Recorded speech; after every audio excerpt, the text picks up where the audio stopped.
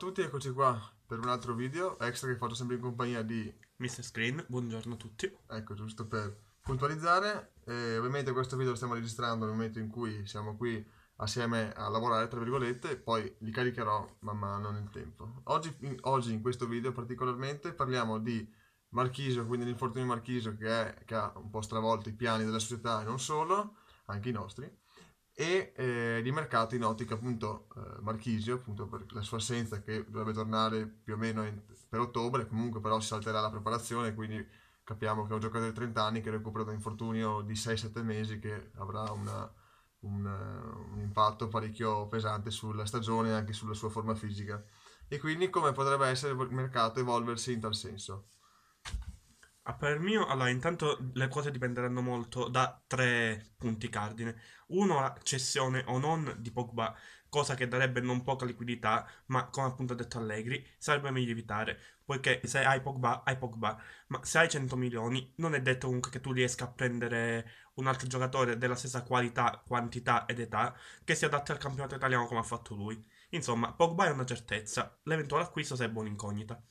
Al di là di Pogba abbiamo anche altri due punti di domanda. Uno, la tenuta fisica di Kedira, cosa che dovrebbe, eh, dovrebbe far permettere a Marotta di valutare se prendere un eventuale sostituto oppure no, e il riscatto o meno di Lemina, cosa non, assolutamente non certa ancora, dato che il Marsiglia chiede 10 milioni, ma la Juve ha delle perplessità sulla tenuta fisica, cosa che appunto l'ha portato a chiedere il prestito di un altro anno al Marsiglia. Questo poi si vedrà in futuro in ogni caso.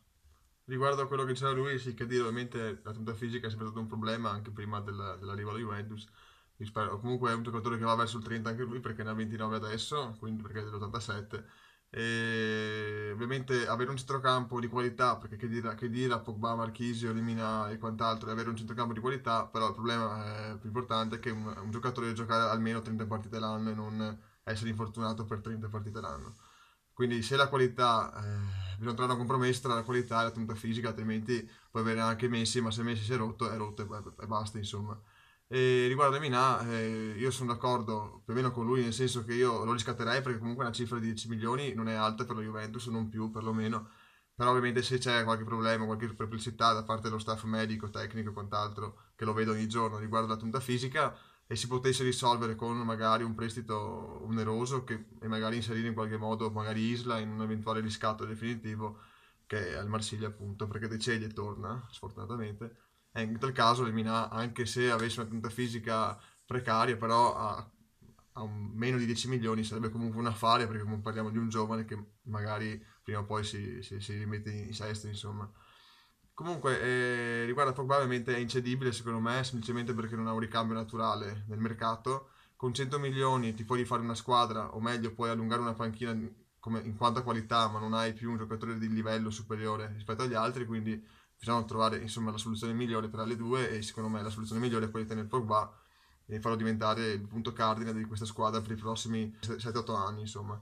E, ehm, quindi il mercato sicuramente si avvierà in, verso una situazione di eh, acquisto e rinforzo sia quantitativo che qualitativo della rosa, perché è quello che ha fatto negli ultimi anni. Partiamo dal centrocampo del 2011 che aveva Giaccherini e arriviamo adesso con giocatori comunque, eh, sì, se non hai Kedira, hai comunque Sturaro che ha fatto delle partite importanti in Europa, hai Lemina che è un giocatore di prospettiva molto interessante e così via, insomma.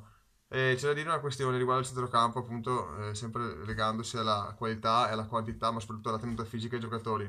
A Samoa Pereira, giocatori molto di qualità, molto importanti, che però fanno 10 partite l'anno e non puoi avere una panchina fatta, insomma, una squadra di 10 centrocampisti, di cui 7 praticamente ti sono, eh, sono a casa un giorno sì, anche l'altro, per motivi fisici. Quindi bisogna fare anche una, un ragionamento in tal senso. Eh, chi bisogna cambiare per garantire una tenuta fisica decente al centrocampo, visto anche l'infortunio di Marchisio, e chi bisogna tenere mantenendo una qualità sì, ma anche una tenuta fisica decente, perché altrimenti meglio avere Sturaro, eh, insomma, che ti dà, permette di fare 40 partite del campionato in modo discreto, che avere magari un giocatore di livello molto superiore che ti fa 10 partite perché le altre 40 è rotto. Bisogna cercare di capire qual è trovare un compromesso tra le varie eh, cose, insomma. Ovviamente. Un altro snodo cruciale potrà poi essere la difesa. Una cosa da non sottovalutare, poiché onestamente non credo che la società spenderà altri 100 milioni sul mercato come fatto l'estate scorsa, al netto di eventuali cessioni. Bensì si dovranno equilibrare un attimino le spese, eh, valutando anche come siamo messi dietro, poiché appunto Licksteiner ha pur sempre la sua età 32 anni, cosa che non gli permette di fare l'esterno del 3-5-2 per tutta la stagione. Quadrado sappiamo bene che andrà via e servirà un ricambio appunto di Licksteiner, sia come terzino che come esterno offensivo. Per quanto riguarda poi i centrali, invece abbiamo Barzagli che grandissimo, fortissimo, ha pur sempre 35 anni, le prossime 36 e il suo sostituto dovrebbe essere Rugani, che al momento però sta sostituendo Chiellini, altra tegola appunto in casa Juve perché ha 32 anni e quest'anno ha saltato tantissime partite fra ginocchio e polpaccio. Un altro punto potrà essere Evra. Evra non ha ancora rinnovato e si dovrà valutare cosa fare con lui in futuro. Se dovesse rinnovare, a sinistra saremmo a posto per un altro anno, con Evra che si accomoderebbe in panchina, lasciando il posto a titolare a Sandro. Se non dovesse rinnovare, ci sono varie alternative. Una delle tante che mi viene in mente ora è Masina, il terzino del Bologna. Spero non De Ceglie, tra l'altro ne sono sicuro. No, De Ceglie eh, ritornerà a Torino e tornerà dall'altra parte subito. In ogni caso, passare dalla coppia Sandro Evra alla coppia De Ceglie e Ziegler, come qualche anno fa, direi che è un netto passo in avanti. E questo bisogna mantenere il livello. Io riguardo l'Extender, sì, eh, l'Extender si accomoderà un po' alla volta in panchina in modo graduale, come ha fatto Evra quest'anno, perché comunque l'età è quella che è.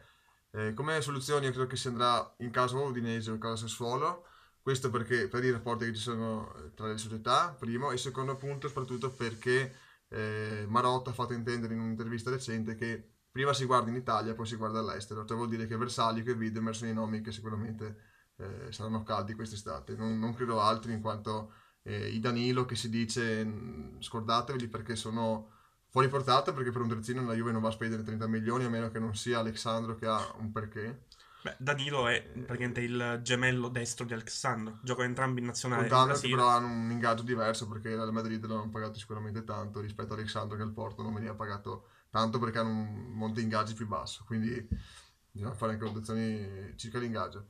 Quindi alla fine eh, adesso ehm, il sogno trequartista secondo me verrà accantonato per sopperire al, alla mancanza iniziale di Marchisio che potrebbe essere una mancanza nei primi mesi anche dovuta alla forma fisica quindi eh, si cercherà di rinforzare il centrocampo nella sua complessità. Eh, bisogna vedere Allegri cosa vuole o cosa non vuole. E in attacco io credo che siamo così a posto. Credo che cessioni non verranno fatte e se dovessero essere fatte difficilmente la Juve interverrà in modo pesante come tanti dicono i Cavani e quant'altro perché non è un obiettivo plausibile insomma. Quindi io lascerei così le cose come sono sinceramente. Poi si vogliono fare Berardi, che arrivi Berardi però non più di quello e per il resto difesa sì, bisogna secondo me un altro uomo per via soprattutto dell'età dei giocatori di punta come Bartagli e Chiellini, che ormai insomma, sono a fine carriera, soprattutto Bartagli. Quindi, Tutto così. dipenderà anche dal modulo che vorrà fare Allegri l'anno prossimo, in ogni caso. Perché... Sì, perché avere un eh, difensore in più in una difesa a 3 vorrebbe dire avere almeno eh, altre tre alternative in una difesa a 4 e due centrali, quindi già una cosa più facile da risolvere in quanto a, num- a numeri e soprattutto Morata resta o non resta. Anche qui ci sarà un altro bivio fondamentale per la campagna acquisti della Juve, poiché Marotta non ha ancora garanzia dal Real, non si sa ancora cosa fare, insomma.